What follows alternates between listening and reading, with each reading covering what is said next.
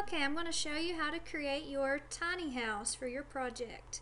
First thing you need to do is create an account and once you create an account you're going to get to your dashboard. So you just go to my dashboard and it's going to look like this. Except right here it's going to be, it's going to say create a project. So you're going to name yours tiny house and then you're going to click on it and it's going to take you to this platform. You're going to go over here to draw a room.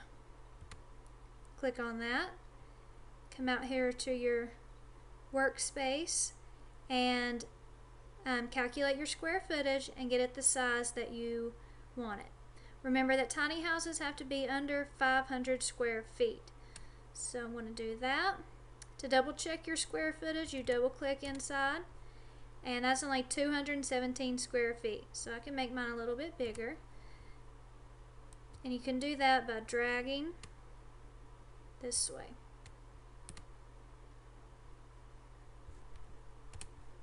And you can keep playing with it and get it the exact size that you want it.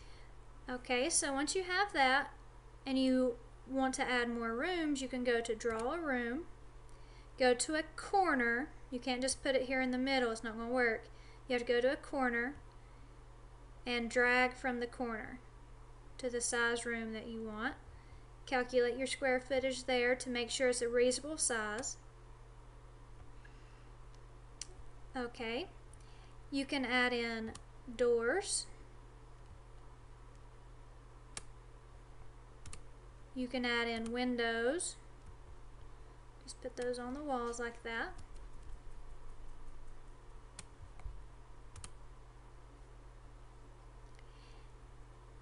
And you can go to the paint icon and you can select your material. I want wooden floors and remember that each design choice has to represent what you're trying to prove so you look at your design um, toolbox to figure this out. I'm going to put white wood in there. Okay, I can go back and this is the cool part. You can paint your walls a different color. So I want to use green. And I'm going to come over here.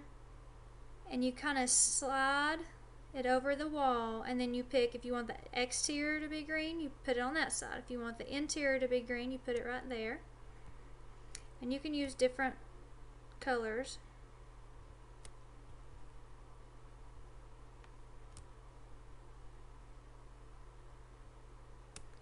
Okay, but the only way you're going to see this is to go to 3D.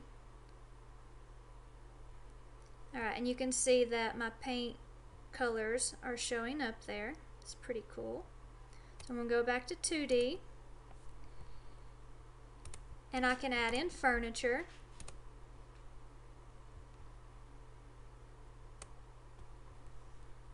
Okay.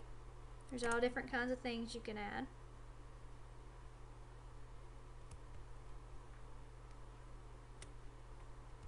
You can move this stuff around.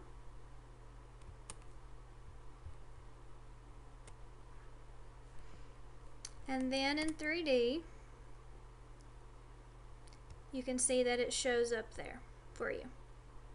You just turn that around and the more windows you add, the more you can see it like straight through like that. Okay, so any design choice you make, you're going to need to add comments for evidence. So you go to this icon here, go to add comments, just kind of put your mark there where you're going to add your comment. Add in your evidence. You can change the font size to what you want it. Click out of there and then you can move this around. You can put it on the outside or on the inside. And there are so many cool features. You can just play around with this. There's some outdoor things you can add. It's all kinds of really cool stuff.